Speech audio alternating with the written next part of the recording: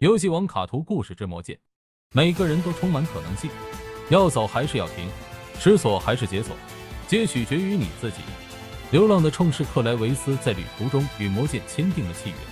如今他为了直面被赋予的使命而踏上了旅程。魔剑马夫提亚，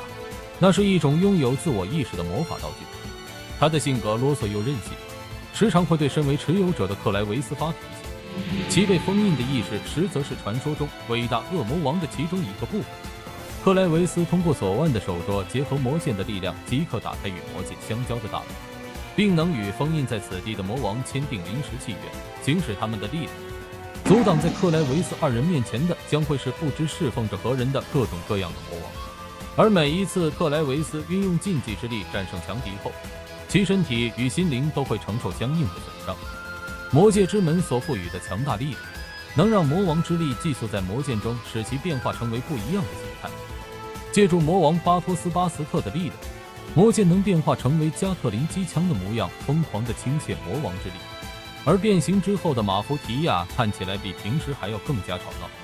借助魔王加雷斯维特的力量，魔剑也能变化成为一门炮台。根据其身上寄宿的魔王的不同属性与等级，对克莱维斯造成的负担也有所不同。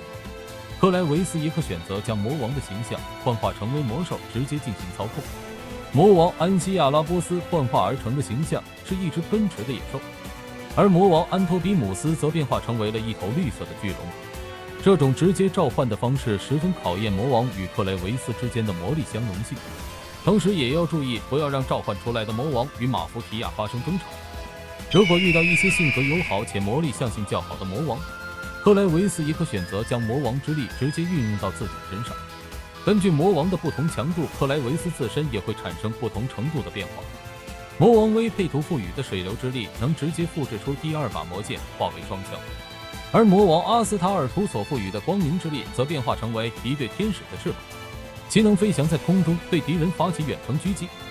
若通过借出身体而让魔王短暂降临，这是临时契约中最强。但也最有可能会被魔王夺取身体的一种最危险的召唤方式。曾在与魔王特兰斯博尔米雷的战斗中吸收的魔王之力，如今陷入了暴走。克莱维斯最终能否恢复意识，夺回属于自己的身体？